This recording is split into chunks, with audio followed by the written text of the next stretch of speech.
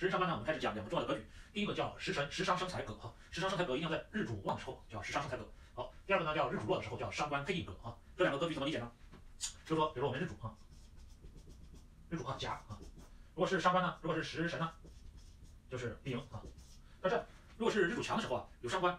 没有财，如果有伤官没有财呢，也会有钱赚啊，但是赚的呢都是幸福钱，就是说出一分力赚点钱，出一分力赚点钱啊。如果有了财呢，如果如果有财啊，火生土啊，比如有木啊。有财呢，就是说，就是说他赚钱的动力呢就更足啊，然后呢会遇到一些财运啊机遇，所以就说时商有财的时候他赚钱的更多啊，没有财的时候呢他就体力活了，或者是脑力活写文字了，你写捞字还收多少钱。所以日，但是这些呢一定要要日主旺啊，因为日主如果不旺的话呢，日主弱身旺的话啊，你这个遇到很多都说你付出很多，但是实际上得到的却很少啊，无论是感情啊还是在工作上来说，你一说什么大部分都它都是准的啊。然后呢，呃这边呢日主弱的时候就伤官配印啊，这个怎么理解呢？就是说如果是你日主很弱，他耗气很严重，这个时候呢我们就需要有印，印到甲啊加水啊这个印呢，它就可以让你去克制一下食神啊，稍微克制一下食神，这就叫伤官配印啊，丙或者丁哈，就是它就会克制它一下，让这个让这个日主和食神做达到一个平衡啊，这样的话就会好一些啊。所以很多人呢，他如果是不行的话，就是呃，我们就鼓励他去读书，鼓励他读书，因为印就是读书，储备知识。当然，有些人他不喜欢老去读书，你说多学一份技能啊，一般这个都是对的啊。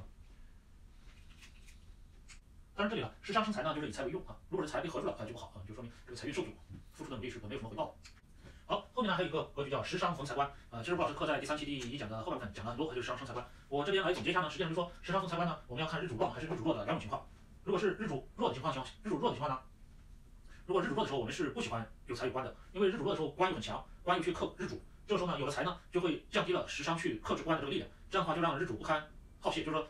日主弱的时候是不是不喜欢食伤格是不喜欢逢财官的啊，日主强的时候呢。他反而就说希望有一点克制的力量啊，这个时候呢，就是不官的官就是喜用啊，就不喜欢官被克掉。这时候呢，有了财之后呢，食伤生财，财生官，这样呢，官对日主有一个克制力量，这个是好事啊。所以要看这个官是喜用还是忌用，官是喜我们就喜欢财，如果官是忌我们就不喜欢财啊。其实吴老师的课在第三第一讲这块这块其实就是这个意思啊，我把它总结一下。